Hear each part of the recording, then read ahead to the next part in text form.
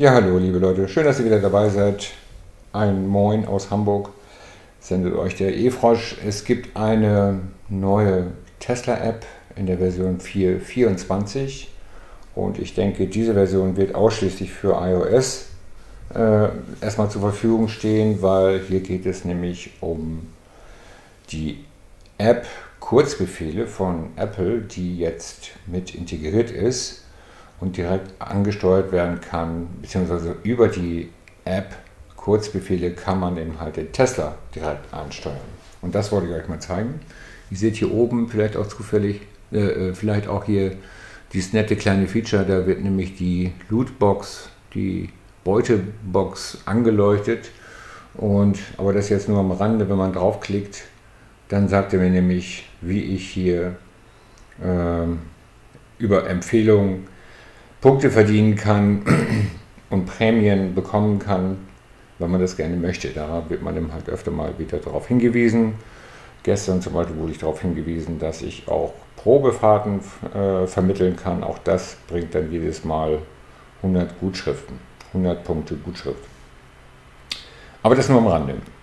Lass uns mal einmal in die App gucken und zwar in die Apple App Kurzbefehle. Das seht ihr ganz oben in der obersten Zeile Kurzbefehle und wenn ich das hier öffne, dann bekomme ich hier erstmal so eine Übersicht über schon bestehende Kurzbefehle, die vordefiniert sind.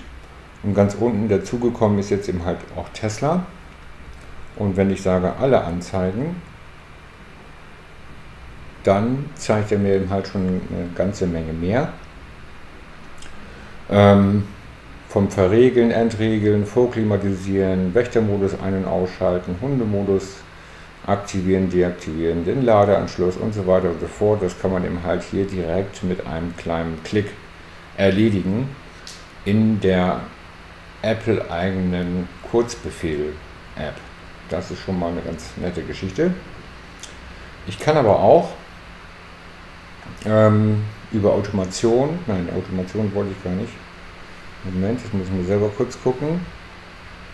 Ich kann hier oben auf das Plus drücken und sagen und diesen Reiter hier unten hochschieben und dort gibt es unter Apps nämlich eine Übersicht aller zur Verfügung stehenden Kurzbefehle für Tesla in diesem Fall natürlich. Klar sind noch mehr drin, aber uns interessiert natürlich jetzt erstmal der Tesla. Und dort sind immer halt alle Befehle nochmal aufgeführt, von alle Fenster schließen bis hin zu Infotainment, Media Lautstärke einstellen oder sogar den, das Furzkissen über Just for Fun, Emissionsprüfung kann man sogar hierüber starten, wenn man möchte. Und weil ich hier ein Model Y zur Verfügung habe, steht hier auch der Biowaffenschutzmodus, wird hier mit aufgeführt und so weiter und so fort. Und ähm, wenn ich jetzt hier auf irgendwas gehe, Moment, ich gehe mal auf, ich muss ein bisschen aufpassen, das Auto ist 100 Meter weit weg, ich muss also genau überlegen, was kann ich denn mal hier äh, machen, ohne dass das irgendwie zur Folge hat, dass ich gleich dahin latschen muss. Äh, gehen wir mal auf die Lichthupe. Und hier kann man eben halt auch noch das definieren, wann denn diese Lichthupe überhaupt betätigt werden soll. Es wird also sozusagen ein Skript erstellt, nämlich wenn eine Eingabe, zum Beispiel das Datum, äh, das ist genau oder hat einen beliebigen Wert und, und, und. Das kennen vielleicht viele von euch auch von anderen Skript-Programmierungen. Äh, da kann man schon sehr, sehr viel draus machen. Und hier heißt es jetzt, wenn also das aktuelle Datum genau äh, der 21. ist zum Beispiel, dann um 18.42 Uhr, das wären in 10 Minuten, die hat er automatisch da eingesetzt, wird die Lichthupe einmal betätigt. Sonst, kann man auch noch reingeben, wird diese Schleife wenn beendet. Ja, es hört sich sehr kryptisch an, ich weiß, aber ich weiß nicht, wie ich das sonst erklären soll. Das sind eben halt so Abläufe, die voneinander abhängig sind und äh, ja, es ist eben halt so eine Art Scripting. Und wenn das fertig ist, dann drücke ich auf Fertig.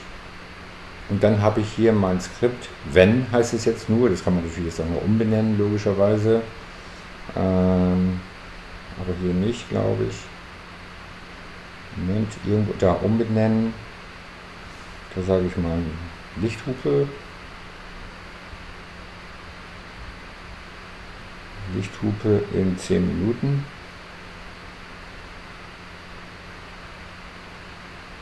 Okay, fertig. Und ja, jetzt habe ich meinen Kurzbefehl hier kreiert. Und zwar soll die Lichthupe eben halt nur dann getätigt werden, wenn eben halt die richtige Uhrzeit erreicht ist. Sonst soll die Schleife wenn abgebrochen werden. Ich drücke jetzt einmal drauf und er sagt Lichthupe betätigt. Und zwar in 10 Minuten. Davon gehe ich mal aus. Kann ich jetzt nicht kontrollieren, äh, wie gesagt, weil ich nicht beim Auto bin, aber so ungefähr kann man sich das vorstellen. So kann man sich eben halt viele, viele äh, Aktionen selber zurecht äh, programmieren. Ja, es ist so eine Art Programmierung. Und ähm, ja, schon eine coole Sache. Da kann man wirklich viel mit rumspielen und äh, sicherlich viele tolle Sachen machen. Ja, das zur Tesla App 424. Wie gesagt, ich gehe davon aus, dass es die, dieses Update erstmal für Android nicht geben wird. Ich weiß, auch bei Android gibt es so, so eine Art Kurzbefehle, die man dort automatisch ausführen lassen kann. Das ist aber meines Wissens relativ begrenzt und äh, ist eigentlich nicht vergleichbar mit dieser programmatischen Umsetzung hier bei Apple iPhones. Ja, ich hoffe, die Information hat euch ein bisschen gefallen und ich fahre jetzt übermorgen in Urlaub und äh, von daher werdet ihr erst in den nächsten Tagen nichts mehr von mir hören. Aber ich komme ja zurück, gehe ich mal von aus und dann geht es weiter mit den Videos von mir. Okay, vielen Dank für Ihr Interesse. Ciao, ciao.